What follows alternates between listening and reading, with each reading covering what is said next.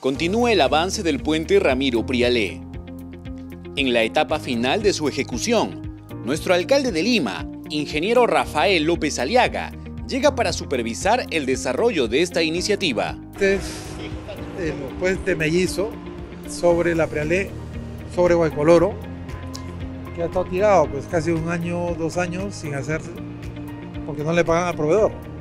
Con una inversión superior a los 61 millones de soles, esta infraestructura beneficiará a los vecinos de Lima Metropolitana que transitan diariamente.